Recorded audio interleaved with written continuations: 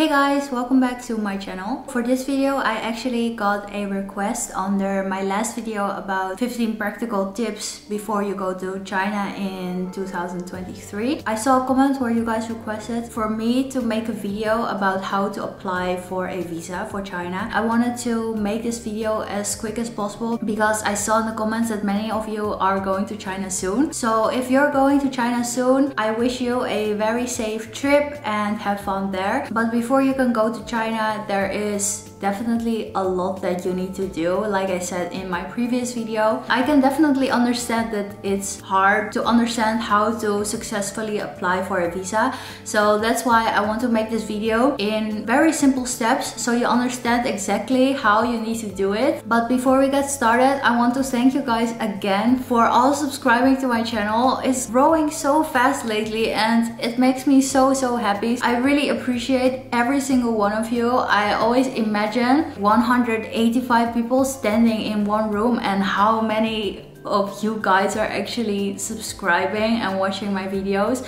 So for me it's so crazy because I had like 30 to 40 subscribers for months upon months. Really thank you so much for subscribing. I can't describe how thankful I am. My next goal is actually to get to the 200 subscribers. I never thought that I would already say this so quickly but because it's happening so fast don't forget to subscribe to my channel. Give this video a like. After you subscribe also put put the notifications on so you know exactly when I'm posting a new video. As you maybe already could see, I'm trying to post more frequently so now I'm striving to post twice a week instead of once a week so you guys have more content. And of course, like I always say, if you have any requests, please feel free to let me know and I will make a video. And the last thing before I start with this video, if I talk a bit weird or different than before, it's because I have my aligners in. So if you didn't see that video yet, check it out with this link here or here. There I explain everything about my aligners. Today is officially the first whole day that I'm wearing them and I still need to get used to them but I will just try to talk as clear as possible and as normal as possible but if you feel like I sound a bit different or weird it's because I have these aligners in my mouth so hopefully it won't bother you too much and if you didn't notice that's great so yeah let's get started with this video so what I'm going to do is I have my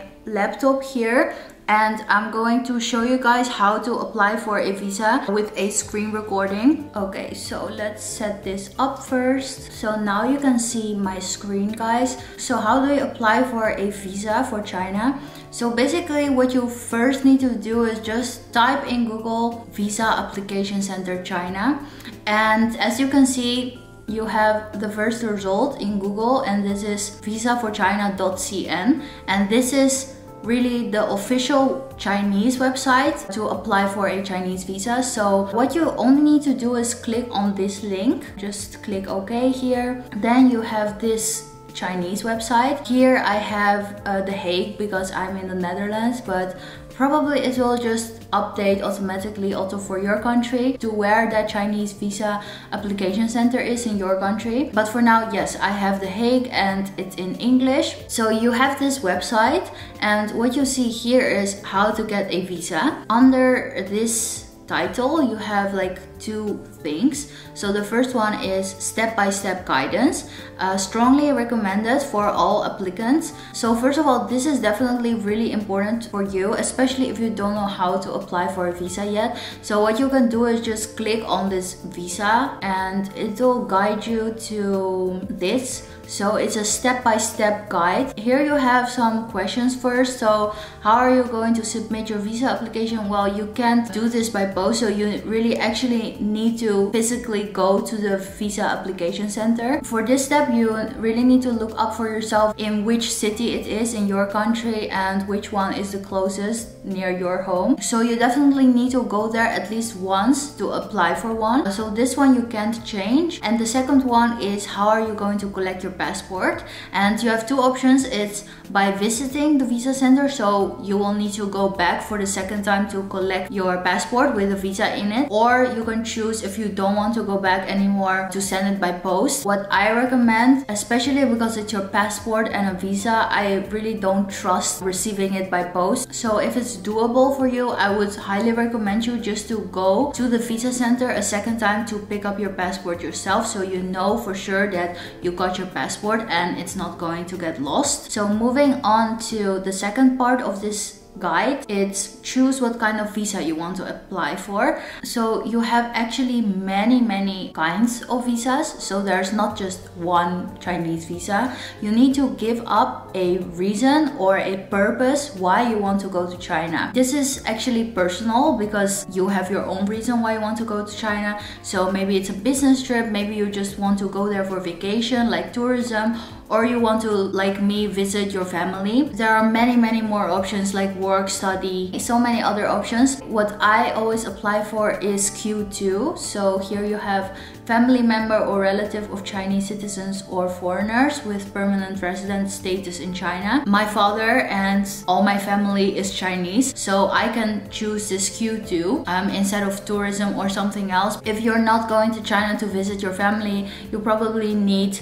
to choose any other of this one uh, whatever is applicable for you. But for now let's just do q2 because that's what i always do. And then you go to the next step. So here you have terms and conditions. To be honest i never really read this. I just click i have read it and go to the next step so where we are now is very important here you have a exact list of what you need to collect. It exactly says what you uh, need to apply for a visa. It's all on this website. So as you can see here, the first one is of course your passport.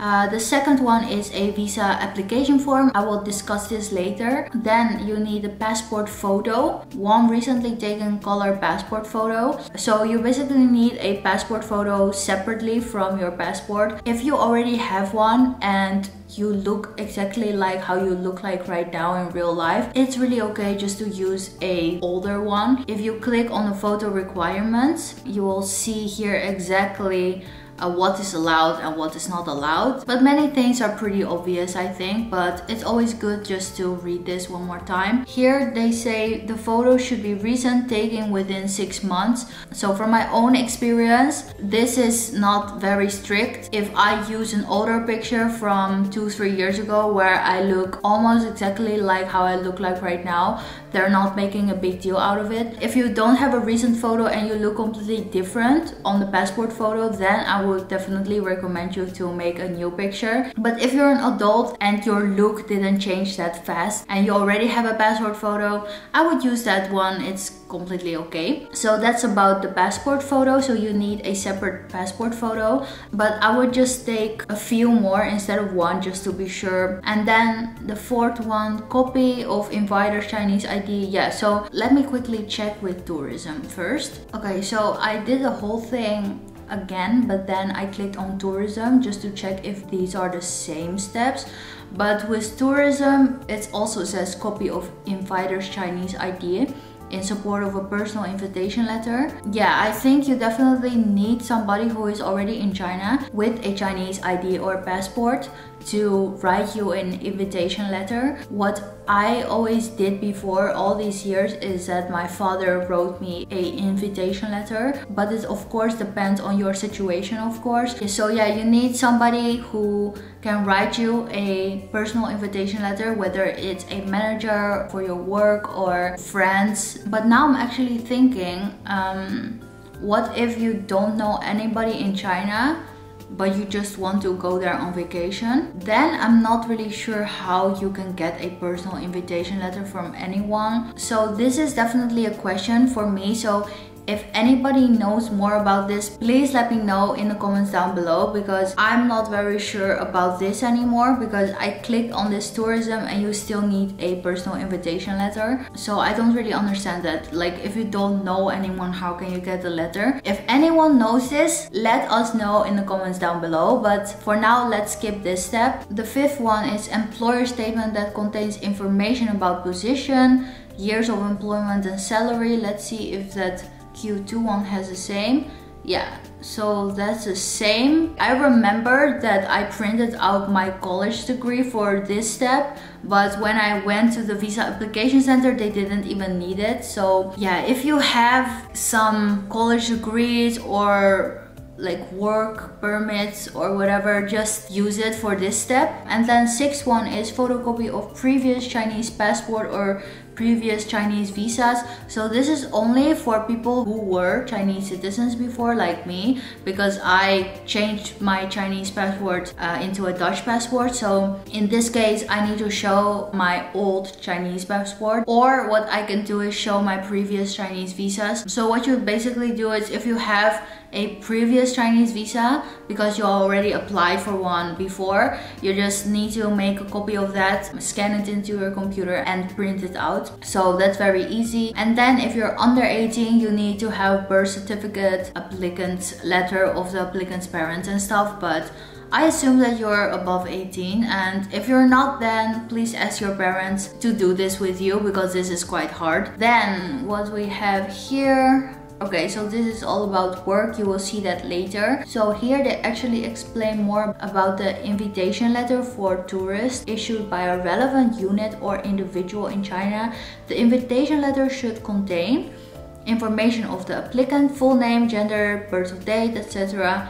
Uh, details of the planned visit, um, arrival, departure dates, places to be visited, accommodation arrangements, and then information of the inviting party.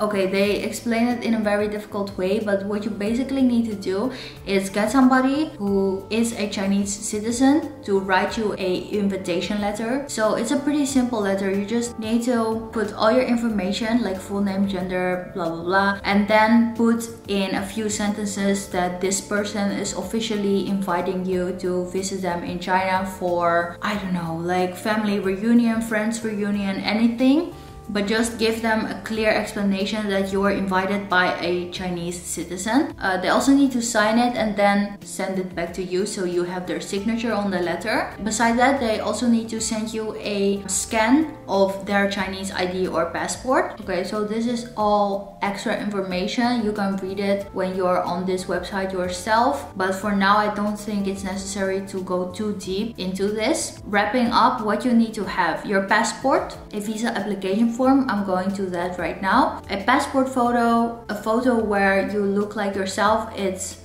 not necessary to make it within six months if you already have a good photo. Copy of inviter's Chinese ID plus the invitation letter of course. Then the employer statement so or your college degree or something that shows that you work at some company. And then if you have it, a, a copy of your previous Chinese passport or previous Chinese visas. So yeah, that's basically it. Let's go to the next step. Who can apply the visa center? Uh, you can submit the application yourself or authorize a third party to do so. So like I said, if you don't have time or you're under 18, you can give the authorization to somebody else for you to go to that application center and apply it for you. But then you need to also put it in your application form that you give consent to that person. But i would just recommend you if you're of course able to just to do it yourself. It will just save more problems and drama that can occur. Let's see how far in advance should i submit my application? Okay so this is a very important one. Here it says you are advised to apply one month in advance but no earlier than three months okay? So between three months and one month before you're planning to go to china China, you need to start applying for this visa. Um, especially in the hot seasons, like summer vacation and stuff, where a lot of people want to apply for this visa, you definitely need to take maybe at least two months in advance to start applying for this because you never know how long you need to wait before they're done making a visa for you. And then let's see, yeah, click here for the location of the visa center and office working hours. Yeah, this is also really important, but you need to check for yourself. Yeah, like I said, where is your nearest visa center location? But I will show you guys mine if it will work. So if you click on this, and again, mine is in The Hague in the Netherlands. So you will get a location from Google. So here you have the address, um, some information about parking, and then the business hours. So this is really important because they're not always open. They're only open from 9 to 3 and 9 to 4. So you need to make some time to plan this in. Let's see, what should I do after arriving at the visa center? Upon arrival, you will obtain a queue number for submitting your application.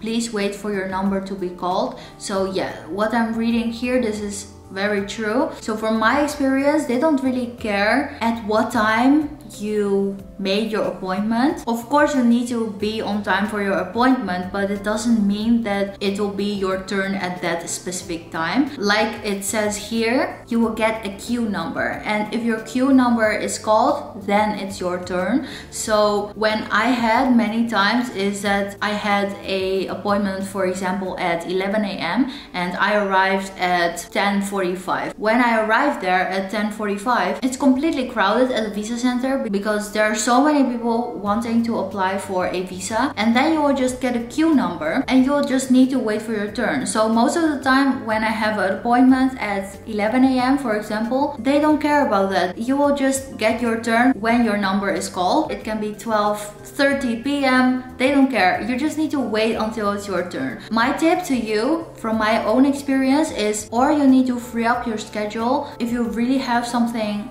after this uh, appointment you need to go there at least one hour before your appointment to be done on time. During waiting for my passport i never had any confirmation through mail or that i could track how far they were. I just heard from them when i was sitting there okay it's all fine. Come back next week tuesday between 9 and 12 and i remember that after i picked up my passport you need to go to a second queue and that queue is for payment Oh, I don't know the prices anymore. I think it was 126 euros, but it also depends on probably the country that you're in and the kind of visa that you're applying for. If you have any other extra questions, just leave it in the comments below and I will personally look it up for you. But I don't think it's necessary to go through every single thing for everybody in this video. I went through the most important things so you know what to do. And now let's go to the application form and you can find this here at the quick access. So if you click on visa then you landed on this page. These two are the most important. First thing what you need to do is make a application form. You just click here by new application form. And this form can really take you hours or days. When i did it for the first few times i didn't understand everything so it took me a long time to understand. Um, these are all the terms and conditions just agree with it. And here you are in the application form. Here you see there are 10 sections. You need to complete them all and then you will have your application form. And then here you just need to select start a new application form. Puzzle they always have these puzzles on this website. Now we arrived at the first section. I see that i can't go through the next section if i didn't fill in all my information. So i can't go through all of this with you guys but after you fill in this form you just proceed to the next section so after you're done with it you will go to this print completed application form and then I highly recommend you to save this application form in PDF. Also uh, print it out physically to take it with you to your first appointment and you will also get your personal application number here. After you did that, you will have your application form from this side and then you need to of course make appointment. So you can just click on appointments. Okay so i see again that i can't go here because you need your application number but just fill in here all your information do this little puzzle and then you will see the date of when they're available. And that's basically all you need to do to apply for a chinese visa. Pretty simple right? I think if we go through this together and you see me doing it, it looks way less scary than doing it all by yourself and looking it all up. All you need to have is just this website, this visaforchina.cn. Do everything on this website exactly like how they say you need to do it. And when the appointment arrives, like I said, arrive one hour before so you know for sure that you will be done on time. Take all your documents, print it out with you just in case. On that appointment, they will just check it again, maybe ask you some questions Also maybe do a fingerprint scan if you haven't done it yet. And from there on, they will take your passport. It will take, depends on when you apply for it, a few days to a few weeks. What I would recommend you to do is make a separate folder on your laptop and put all the relevant information in one folder. When you're filling in that application form, you can also choose for how long you want to stay in China. So what you can do is just apply for 90 days, but you can also choose for if you want a single entry or double entry. It basically means how many times you can enter and exit China. It of course depends on your situation. In my situation, it's very handy for me to have multiple entries. If you just go to China for one vacation, you don't need double entry except if you plan to go outside of China, for example, to Japan or Korea or to any other country, and then planning to go back to China to fly back home from China, then definitely do a double entry because once you exit China and you still plan to go back with a single entry visa, that's not gonna happen anymore. Really plan out for yourself. Do you want to stay in China or do you want to exit China and go back again? And put all those information exactly in your application form so they can give you a proper visa. For now, I think that's it. I would recommend you to book the flight already in advance before you have a visa. This may sound risky, but just pay a bit extra for a cancellation fee or something. But in that way, they can see that you have bought a round trip, so you actually are planning to come back and not to stay in China forever. And also book all the hotels that you want to stay in so they can also see exactly where you're planning to stay because that's very important for them as well. Plan everything already like you're actually going to China before you're applying for this visa so you can also share all that information with the people from the application center. But yeah, that's the video guys. Hopefully you don't have a headache yet and I wish you all the best with applying for a visa. Hopefully this video was still on time for you guys. If it was helpful for you, give it a thumbs up and subscribe to my channel. My next goal is to have 200 subscribers.